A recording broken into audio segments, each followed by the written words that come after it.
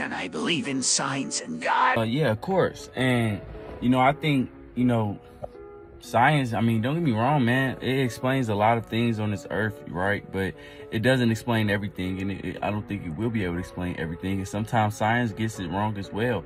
Um, even um, actual scientists would tell you, no, nothing is definite, right?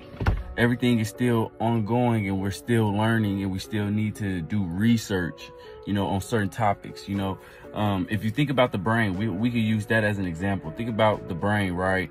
Um, if you look up psychology, it is the study of the behaviors of the brain, but it doesn't actually tell you why your brain does what it does, right? So science explains behaviors, but it can't really tell you why something is here, right?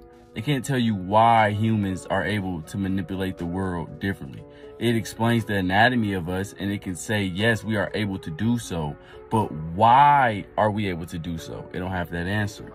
And I don't think it ever will. Just like with, with our brains, it doesn't have the answer to why my thoughts are different from your thoughts. Even my siblings, why my thoughts still would be different from theirs, right? It can tell you that a signal went off in the hypothalamus of the brain, but it doesn't tell you why you think the way you think, why you feel the way you feel, why you are the way you are. When you're a baby and you're six months, four months, it won't be able to tell you what your first word will be or what the baby is thinking at that moment. It can't tell you the thoughts going on, right? So you don't have to, you know, worry. It's all right. You can believe in both.